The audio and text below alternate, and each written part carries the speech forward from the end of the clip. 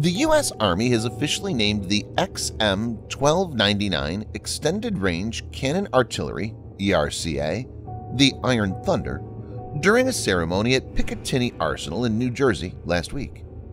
Viewers may note that the ERCA program is one of five major programs that are part of the U.S. Army's Long Range Precision Fires LRPF initiative. As per a recent Congressional Research Service report on the Pentagon's LRPF efforts, the Army says that longer-range artillery systems are needed to respond to what DoD calls the Enemy Anti-Access Area Denial A2AD environment, layered and integrated long-range precision strike systems, littoral anti-ship capabilities, air defenses, and long-range artillery and rocket systems, which can theoretically keep U.S. forces at bay and deny freedom of movement. In this video, Defense Updates analyzes why Iron Thunder of the U.S. Army is now the best artillery cannon in the world. Let's get into the details. This video is sponsored by War Thunder. If you are, like us, fascinated by military vehicles and technology, I recommend you give War Thunder a try. It's a military vehicle combat game which you can download and play for free on PC, PlayStation 4, and Xbox One with cross-platform support. It has a huge variety of more than 1,200 playable aircraft, tanks, helicopters, and ships from the 1930s to the 1990s, which you can take to battle on land, in the air, and at sea on more than 80 theaters of war. War Thunder's been kind enough to offer all Defense Updates viewers a special bonus, which will grant you a free premium tank, aircraft, or ship and three days of premium account time for registering using our link in the description below. So take the plunge and join more than 20 million players from around the world.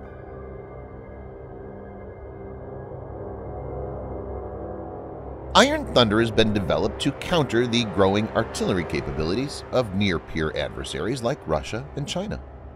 Iron Thunder almost doubles the range of existing U.S. Army howitzers. It's capable of striking a target at 43 miles or 70 kilometers away with a salvo of M982A1 Excalibur guided artillery shells. This means that it outranges both the M109A7 Paladin which has a range of 18 miles or 30 kilometers with a rocket-assisted projectile, and M777, which has a range of 25 miles or 40 kilometers with a rocket-assisted projectile by a big margin. The U.S. Army had conducted the test at Yuma Proving Ground in Arizona.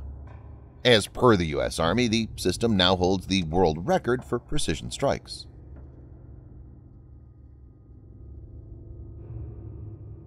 This has been accomplished using a special gun and an optimized propellant.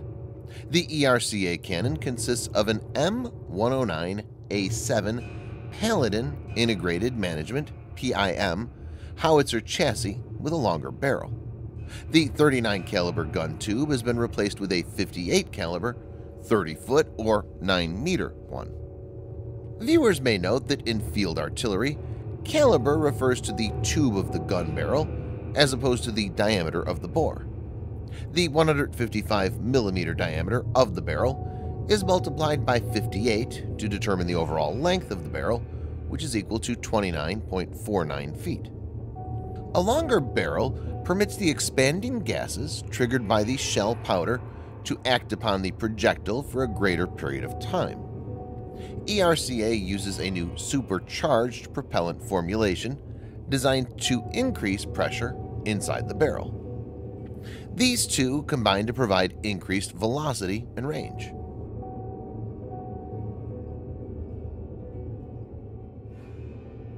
The M982 Excalibur is a 155mm extended-range guided artillery shell, developed during a collaborative effort between the U.S. Army Research Laboratory ARL and the United States Army Armament Research, Development and Engineering Center ARDEC.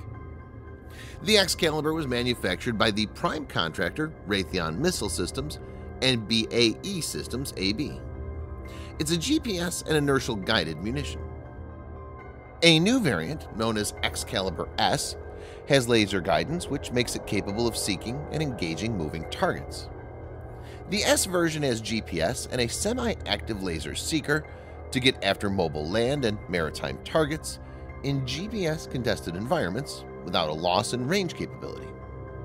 Raytheon stated that the Excalibur Increment B projectiles used by U.S. Army and U.S. Navy can be upgraded with the S capabilities. Sam Deneke, Raytheon's Land Warfare Systems Vice President, had said in a statement, Using artillery to engage moving targets gives soldiers more flexibility. Artillery is typically used to hit stationary objects, but Excalibur S expands the capability of artillery on the battlefield. Excalibur is used to minimize collateral damage for targets beyond the range of standard munitions, for precise firing within 150 meters or 490 feet of friendly troops, or when firing in a straight line from the launching cannon is limited by terrain. It has a multi-function fuse that can be programmed to explode in the air once it hits a hard surface or after it penetrates inside a target. One Excalibur projectile can accurately hit an intended target that could require the use of between 10 and 50 unguided artillery rounds.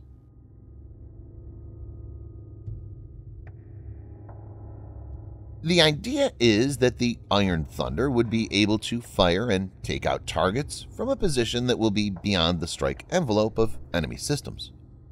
According to a June 2020 assessment from the Government Accountability Office, the U.S. Army plans on fielding 18 ERCA prototypes to a battalion for operational testing by the fiscal year 2023, with the effort projected to end in October 2023 to gather information for future ERCA increments.